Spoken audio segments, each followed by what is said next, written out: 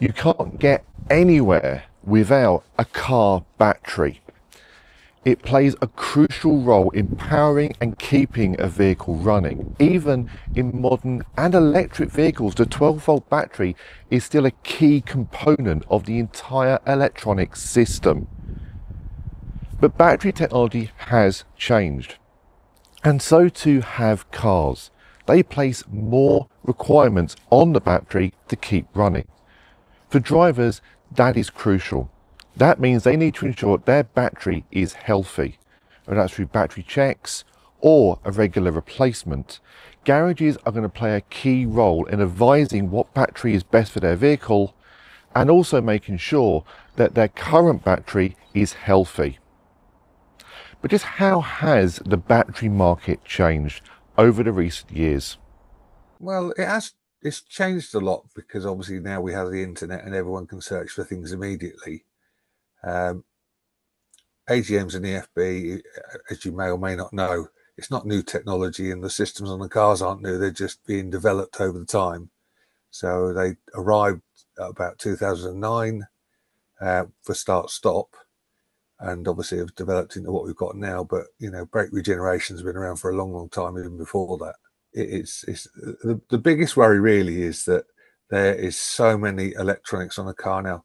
And, and I always tell people this when we're teaching that the battery is now the most single most important part of the vehicle, more so than fuel or absolutely anything else, because it literally runs your whole car.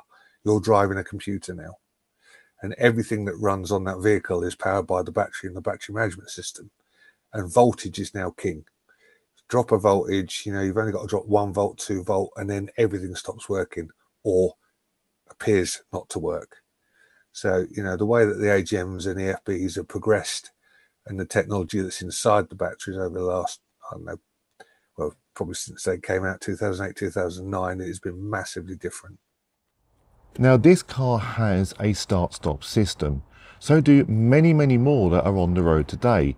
And in fact, all cars today are sold with start stop systems. And these vehicles will be coming into the aftermarket in three years' time.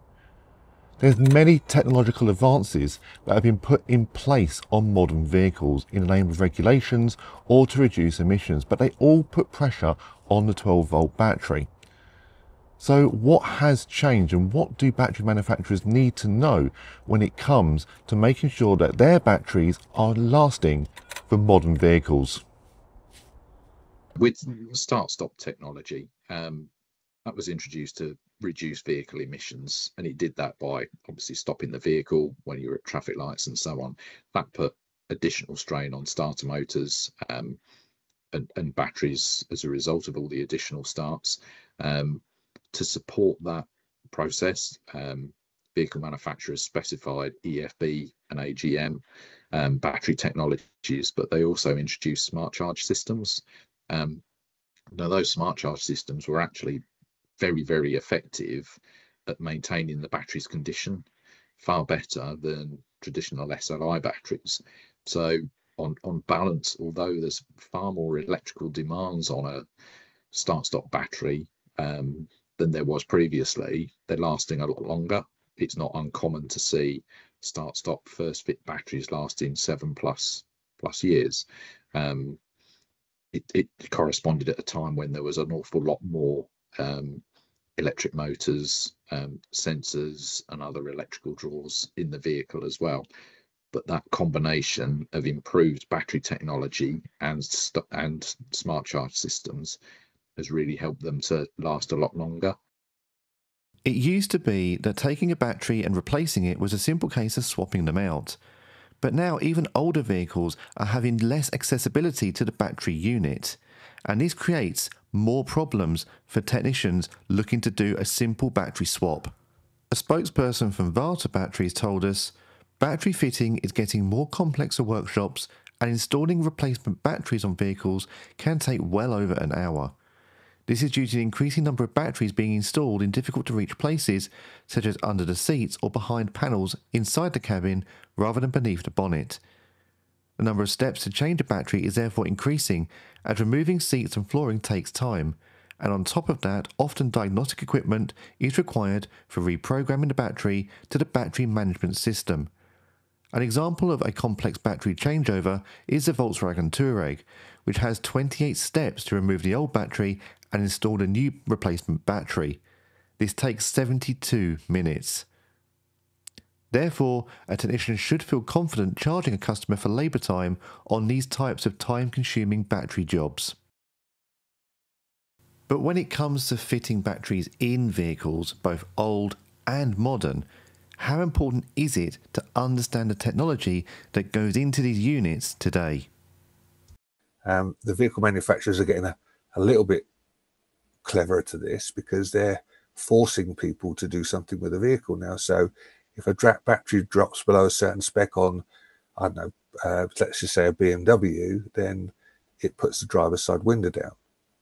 You know, and it forces you to go and do something. So whether that's put a new battery on it, charge the old battery, take it to a garage, whatever, it's making you actually do something. Uh, same Mercedes do the same, say the VW Audi group. Um, and it's it's things like this. When I go and talk to garages, I'll say, "Oh, do you work on start stop?" And they go, "No, mate, we never see that in here. That's too new for us." And you think, "Well, come on, really?" You know, I'm looking around their workshops thinking, "Well, that car over there's got brake regen, that one's over there's got start stop," and they go, "Oh, oh, start stop. That's oh yeah, yeah." And you just think, well, there ain't two. It's just there's just the one start stop systems, and you then start talking to them because obviously they always think you're there to sell something. You start talking to them, and they are having issues because they're not sure about coding. They're not sure about the battery management systems. They're not really sure how it works. They might have an inkling, or you know they've got a mate they can phone that'll help. They bought a bit of diagnostic kit, but they don't really use it. They don't understand why they should be testing batteries.